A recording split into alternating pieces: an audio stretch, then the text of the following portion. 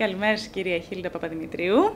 Καλημέρα. Χαιρόμαστε πολύ που είστε εδώ μαζί μας και θα κάνουμε αυτή τη συνέντευξη. Ευχαριστώ πολύ. Να αρχίσουμε με, μερικά, με μερικές ερωτήσεις για τη ζωή σας και πώς προέκυψε η μετάφραση. Πώς ασχοληθήκατε λοιπόν; Ε, είχα πολλά, για πολλά χρόνια ένα δισκάδικο, ε, για 20 χρόνια περίπου, οπότε όσα χρόνια είχα το δισκάδικο, όσες ώρες δεν είχα πελάτες, διάβαζα. Ε, με αφορμή τις μουσικές και τις αγάπες μου, μετέφρασα, βρήκα ένα βιβλίο το οποίο με ενδιαφέρε πολύ, που είναι η βίβλος του rock and roll, τον ήχο της πόλης, The Sound of the City, του Charlie Gillett. Και το πρότεινα μόνη μου σε έναν εκδότη, το δέχτηκε και μου άρεσε πάρα πολύ που έκανα αυτή τη μετάφραση. Ε, εκείνη την περίοδο, για λόγους οικογενειακούς, έκλεισα το μαγαζί, οπότε ήμουνα μπροστά στο μετέχμιο μια μιας καινούργιας σταδιοδρομίας και είπα μετάφραση. Από εδώ και πέρα θα μεταφράζω και θα ακούω μουσική. Και είχα την τύχη να, να έρθω σε επαφή με μεγάλους εκδότες, που, ας πούμε με τις εκδόσεις πόλης, με τον Πατάκη, με το Μετέχμιο, που κατάλαβαν και τι μου ταιριάζει. Ε, και μέχρι τώρα δηλαδή το 90% ή 95% των βιβλίων που έχω μεταφράσει είναι βιβλία που θα τα, διάβαζα, θα τα αγόραζα και ως αναγνώστρια. Εξαιρετικό.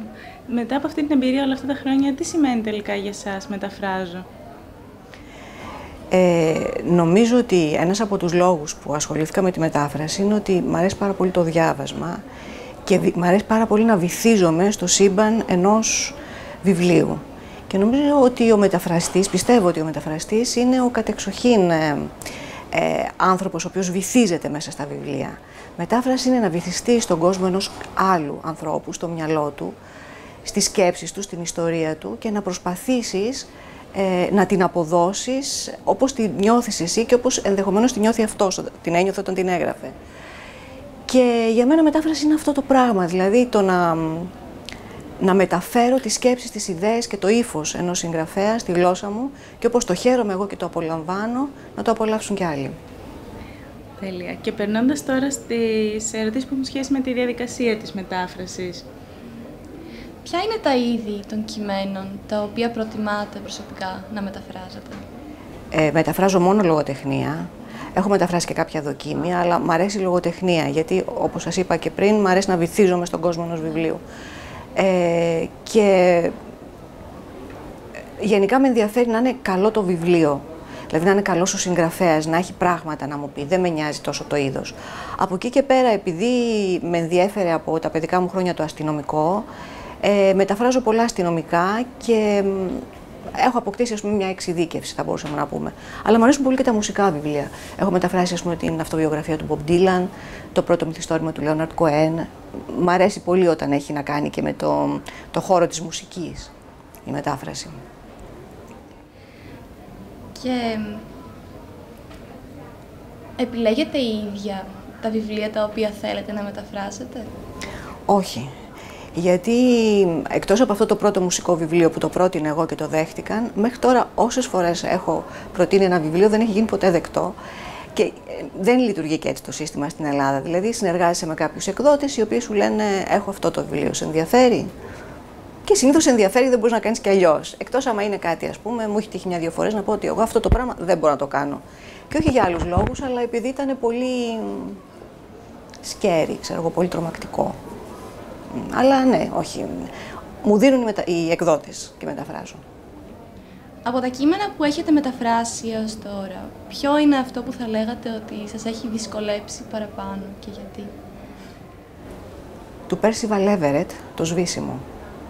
Είναι ένα μεταμοντέρνο μυθιστόρημα. Ο Percival Everett είναι αφροαμερικανός συγγραφέας. Είναι ό,τι πιο δύσκολο έχω κάνει, γιατί εκτός από το ότι οι ιδέες του ήταν δύσκολες, μέσα στο μυθιστόρημα υπήρχε εγκυβωτισμένο ένα άλλο μυθιστόρημα που υποτίθεται ότι γράφει ο ήρωας του βιβλίου, το οποίο ήταν γραμμένο στα Ebonics. Ebonics είναι η διάλεκτος των μαύρων της Αμερικής, δηλαδή, ναι. Και ένα από τα πιο δύσκολα πράγματα στη μετάφραση είναι να μεταφέρεις σλάνγκ ή ιδιόλεκτα. Πάρα πολύ δύσκολο. Ε, με δυσκόλεψε πάρα πολύ, αλλά είναι το βιβλίο για το οποίο καμαρώνω πιο πολύ από όλα. Ε, και να περάσουμε, επειδή πριν αναφερθήκατε και στους εκδότες και σχέση με τους εκδοτικούς οίκους, ε, να περάσουμε σε αυτό το κομμάτι, το πιο επαγγελματικό ας πούμε. Είστε ικανοποιημένοι από τις απολαβές σας, από τη μετάφραση; Όχι, κανένας μεταφραστής δεν είναι. Είναι αυτό που ακούμε συχνά. Ναι, ναι, κανένας μεταφραστής δεν είναι, γιατί ε, είναι πολύ ο κόπος να βγάλεις ένα αποτέλεσμα που να σε ικανοποιεί. Ε, και όταν το κάνεις σε πάρα πολλά χρόνια και θέλεις, ας πούμε, έχεις ένα όνομα και δεν θέλεις. Θέλεις αυτό το όνομα να, να το τιμήσεις. Και όταν σε αγαπάς και τα βιβλία, ε, θέλει πολύ κόπο. Απαιτεί πολύ χρόνο η μετάφραση. Ε, και αυτός ο χρόνος δεν πληρώνεται. Νομίζω ότι οι περισσότεροι μεταφραστές λογοτεχνίας, γιατί για, για τη λογοτεχνία μιλάω, ε, κάνουν τις μεταφράσεις επειδή έχουν και πάθος με τα βιβλία. Αλλιώς θα σχολιόντουσαν με κάτι που είναι πιο προσοδοφόρο. Όχι, δεν είμαι ευχαριστημένη. Είναι δυνατόν να βιοποριστεί κάποιος μόνο από αυτό τελικά; Πάρα πολύ δύσκολο. Πάρα πολύ δύσκολο. Θα πρέπει δηλαδή να δουλεύει, τι να πω, 15 ώρες τη μέρα, ας πούμε, χωρίς να του τύχει καμία στραβή. Γιατί είναι και αυτό το θέμα, ότι στην καθημερινότητά σου, άμα είσαι ελεύθερος επαγγελματίας, θα φας και μια μέρα στην εφορία, θα φας και μια μέρα στο δεν ξέρω πού, ας πούμε, στο ΙΚΑ, κάπου. Ε, θα σηκωθείς μια μέρα και δεν θα είσαι καλά. Έτσι, αυτές, ε, θα πρέπει και να το βγάλεις αυτό το πράγμα, θα πρέπει να δουλεύεις 15 ώρες τη μέρα. 7 μέρες τη βδομάδα. Πέρα από τις απολαυές, με το στάτους, με τη θέση που έχουν οι μεταφραστές σήμερα, είστε ικανοποιημένοι; Ε, τώρα πια νομίζω ότι αναγνωρίζουν περισσότερο τους μεταφραστές από ό,τι ας πούμε πριν 20 χρόνια. Ε, βέβαια περάσαμε μια περίοδο στα τέλη του, των Zero, ας πούμε, στα, το 6, το 7, το 8, τότε που ακόμα υπήρχαν πολλές εφημερίδες και είχαν ένθετα για το βιβλίο, μεγάλα ένθετα, που αναφερόντουσαν οι, οι κριτικοί επισταμένα στη μετάφραση. Τώρα πια έχει πάψει αυτό, δηλαδή δεν το αναφέρουν και δεν είναι σωστό κατά τη γνώμη μου, γιατί είναι μεγάλος ο κόπος που κάνουμε και είναι ο μόνος τρόπος αναγνώρισης να να ξέρεις ότι ναι βρε παιδί μου, ο άλλος κατάλαβε τον κόπο σου ας πούμε. Τα λεφτά που είναι που είναι λίγα. Να έχεις τουλάχιστον αυτό.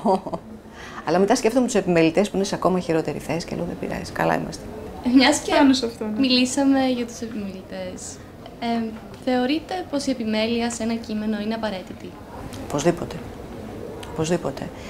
Ε, ξέρετε, μπορεί να έχεις διαβάσει ένα κείμενο, τρεις σελίδες να είναι έτσι, 50 φορές και να μην έχεις καλό στο μάτι σου στο λάθος, γιατί το έχεις γράψει, το έχεις κοιτάξει, το έχεις ξανακοιτάξει και το έχεις. Ε, το νιώθεις πια δικό σου, δεν το καταλαβαίνεις. Ο επιμελητής είναι το τρίτο μάτι, το οποίο θα, θα εντοπίσει το λάθος.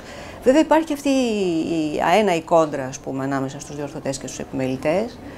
Ε, ότι ο επιμελητής πρέπει να έχει αρκετή θέληση ώστε να διορθώσει μόνο το λάθος. Να μην διορθώσει αυτό που θεωρεί αυτός ότι θα ήταν πιο κατάλληλο. Έχετε αισθανθεί ποτέ ότι δεχτήκατε λογοκρισία από κάποιον επιμελητή; Όχι, ποτέ.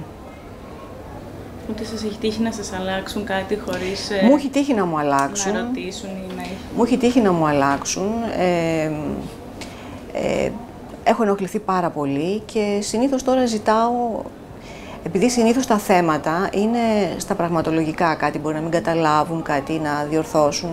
Ζητάω, ας πούμε, όταν γίνουν κάποιες σημαντικές επεμβάσεις στο κείμενο, να, να επικοινωνήσουν μαζί μου. Ε, δεν γίνεται πάντα αυτό. Πολλές φορές οι ρυθμοί, ας πούμε, ότι ένα βιβλίο πρέπει να βγει σύντομα ή ότι.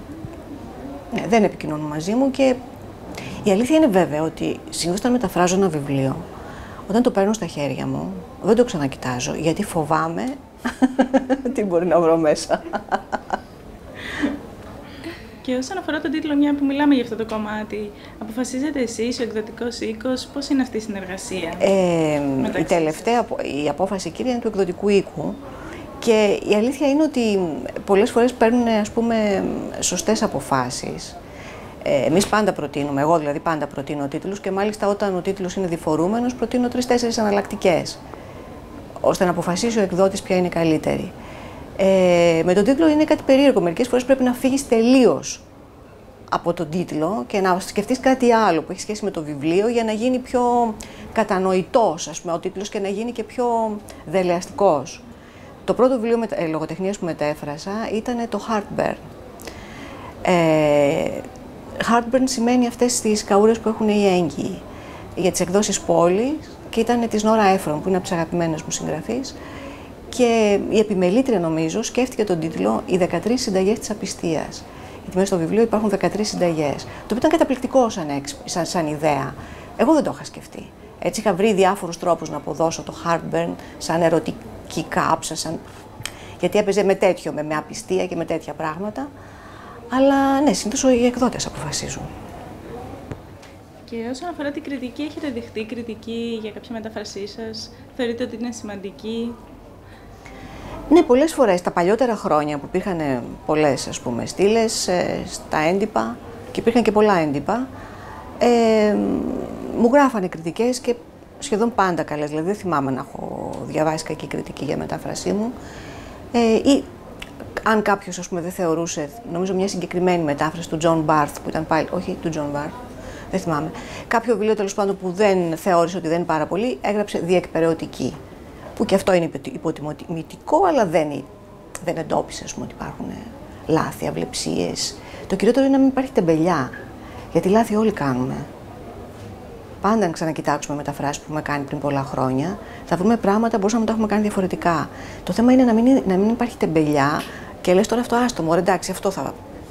Άστο, εντάξει. Το θέμα είναι να εκεί που κολλάς, να ψάχνεις, να σκαλίζεις και να βρίσκεις την καλύτερη λύση. Είστε αισιόδοξοι όσον αφορά το μέλλον της μετάφρασης στην Ελλάδα; Ε, το πρώτο που πρέπει να ρωτήσουμε είναι αν είμαστε αισιόδοξοι για το βιβλίο στην Ελλάδα. Έτσι. Ε, νομίζω ότι τώρα που κάπως έχουμε ξεκολλήσει λίγο από το, το χειρότερο σημείο της κρίσης, μπορούμε να ελπίζουμε ότι θα πολλαπλασιαστούν οι αναγνώστες. Και αν πολλαπλασιαστούν οι αναγνώστες, έχει μέλλον η μετάφραση. Τώρα πια που μεταφράζονται και βιβλία από πάρα πολλές γλώσσες, που υπάρχουν, είναι πολύ σημαντικό αυτό που κάνουν ε, πολλά πολιτιστικά ιδρύματα ευρωπαϊκών χωρών που χρηματοδοτούν τη μετάφραση των μικρότερων γλωσσών, ας πούμε, ξέρω εγώ, μια Νορβηγική, μια Ολλανδική, μια των Βάσκων. Ε, γιατί έτσι δίνουν τη δυνατότητα να κυκλοφορήσουν και βιβλία που δεν, είναι, δεν θα ήταν εμπορικά ώστε να τα αναλάβει ένας εκδότης. Ε, γενικά νομίζω ότι η μετάφραση και η διερμηνία μας χρειάζεται όλο και περισσότερο όσο πιο σύνθετος γίνεται ο κόσμος μας και όσο περισσότερο ταξιδεύουμε και ξεκολλάμε από το μικρό, το δικό μας, το μικρό κόσμο ας πούμε και απλωνόμαστε. Και επειδή ζούμε σε μια τέτοια εποχή, θέλουμε δεν θέλουμε δηλαδή, έρχονται άλλοι εδώ, πάμε εμείς αλλού από ανάγκη. Έτσι. Είτε έρχονται πρόσφυγες εδώ, είτε πάμε εμείς ως οικονομικοί μετανάστες αλλού. Ε, είναι από τα, τα σημαντικότερα πράγματα η μετάφραση και η διαρμηνία. Και πριν σας αφήσουμε, ε, να σας ρωτήσουμε τι συμβουλή θα δίνατε σε έναν φοιτητή που θέλει να ασχοληθεί μελλοντικά, επαγγελματικά με τη μετάφραση; Να διαβάζει πάρα πολλά, πάρα πολλά, πολλά βιβλία. Ε, εγώ επειδή δεν έχω σπουδάσει, δηλαδή έχω κάνει ένα σεμινάριο μετάφραση, αλλά δεν έχω σπουδάσει στο πανεπιστήμιο, νομικά έχω τελειώσει, ε, η μόρφωσή μου, ας πούμε, ήταν τα πάρα πολλά βιβλία που έχω διαβάσει. Δηλαδή, όσο πιο πολύ διαβάζει κανείς, τόσο πιο πολύ εξοικειώνεται με το ύφος, με τον τρόπο της έκφρασης των συγγραφέων. Ε, ε, αυτόματα πιάνει πια ε, λεπτομέρειες, τις οποίες ε, διαφορετικά, ας πούμε, όταν τις διδαχτείς, ίσως είναι δύσκολο να τις εφαρμόσεις. Το διάβασμα είναι και για τη μετάφραση και για το γράψιμο και γενικά νομίζω το διάβασμα είναι η συμβουλή που μπορώ να δώσω σε όλο τον κόσμο. Σας ευχαριστούμε πάρα πολύ. Εγώ σας ευχαριστώ. Είστε καλά και καλή συνέχεια. Ευχαριστώ.